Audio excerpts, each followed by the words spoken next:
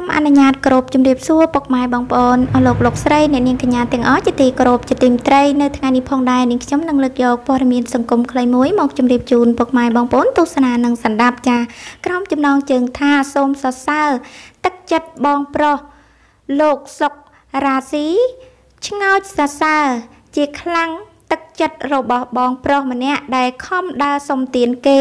ពីប្រទេសមួយទៅប្រទេសមួយដើម្បីទិញដីចែកជូនអ្នកក្រ និងជនពិការចំនួនចា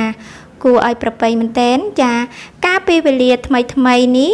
នៅលើបណ្ដាញសង្គម Facebook បានធ្វើការចែករំលែកតៗគ្នាជាច្រើន បន្ទាប់ពីបងប្រុសម្នាក់ដែលគាត់ជាជនពិការដៃទាំងសងខាង បានប្រគល់ដីជូនបងប្អូនក្រីក្រចំនួន300គ្រួសារដែលក្នុងម្នាក់ទទួលបានទំហំដី8ម៉ែត្រគុណនឹង18ម៉ែត្រដើម្បីយកដីសាងសង់លំនៅឋានរៀងរៀងខ្លួនរួចរាល់អស់ហើយនិងកំពុងរស់នៅផងដែរបរោះចិត្តល្អរូបនោះមានឈ្មោះថាលឹមភាអាយុ41ឆ្នាំ មានប្រពន្ធឈ្មោះធីណារីអាយុ34ឆ្នាំមានកូន7នាក់ក្នុងនោះស្រី3នាក់រស់នៅក្នុងភូមិអូក្រូចឃុំត្រពាំងប្រាសាទស្រុកត្រពាំងប្រាសាទខេត្តឧត្តរមានជ័យបាននិយាយពីប្រវត្តិដ៏ជូរចត់របស់បងប្រុសវិញ ពីដើមឡើយ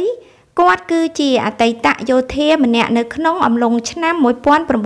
1998ហើយអំឡុងឆ្នាំ2004គាត់ក៏បានជួបគ្រោះថ្នាក់ដោយសារគ្រាប់មីនបណ្ដាលឲ្យគាត់បាត់បង់ដៃទាំងសងខាង ហើយនឹងភ្នែកម្ខាងផងដែរបើទោះបីជាគាត់បានជួបហេតុការណ៍ដ៏អាក្រក់បែបនេះក៏ពិតមែនក៏គាត់មិនដែលចោះចាញ់នឹងជីវិតរបស់គាត់នោះទេ គាត់បានទៅប្រទេសថៃដើម្បីដើរច្រៀងសុំទានគេ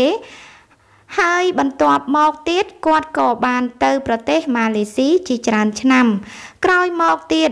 ក៏បានคลายខ្លួនជាអ្នកលក់ទឹកឃ្មុំ និងបានតន្សំប្រាក់ទុកសម្រាប់ទិញដីចំនួន50ហិកតា ដែលមានការទទួលស្គាល់ពីអាជ្ញាធរគ្រប់លំដាប់ថ្នាក់រួចក៏ចាប់ផ្ដើមរស់នៅក្នុងស្រុកធ្វើការ ចាឈូសឆាយចាក់ដីធ្វើផ្លូវចូលដល់ទៅទីតាំងហើយលោកក៏បានពុះដីឡូចំនួន600ប្លង់ដើម្បីចែកជូនបងប្អូនក្រីក្រនិងជនពិការចំនួន300គ្រួសារផងដែរបន្ទាប់ពីបានឃើញដំណឹងដ៏សែនអស្ចារ្យមួយនេះ ហើយលោកសុករាស៊ីចាវិធីកដ៏ល្បីប្រចាំផលិតកម្មហងមាស ក៏បានបង្ហោះសារកោតសរសើរទឹកចិត្តដ៏ល្អរបស់លោកលឹមភាដោយលោក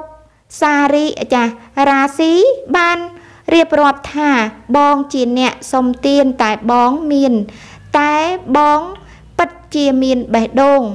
សូមសរសើរទឹកចិត្តបងប្រុសខំដើរសុំទានគេទិញដីចែកទានវិញ បងពិតជាមានបេះដូងមនុស្សធម៌ពិត ប្រកាសបងនឹងបំបែកកំណត់ត្រា អ្នកសុំទាននឹងល្បីទូទាំងសកលលោកចាឃើញថាព័ត៌មានក៏បានបញ្ចប់ទៅហើយពុកម៉ែបងប្អូនចុងក្រោយនេះខ្ញុំក៏សូមអរគុណរកការតាមដានរបស់ពុកម៉ែបងប្អូនទាំងអស់ហើយក៏សូមពុកម៉ែបងប្អូនចាកុំភ្លេចជួយចុច Subscribe សញ្ញាកណ្ដឹង Like និង Share ដើម្បីទទួលបានព័ត៌មានថ្មីៗសូមអរគុណសូមជម្រាបលា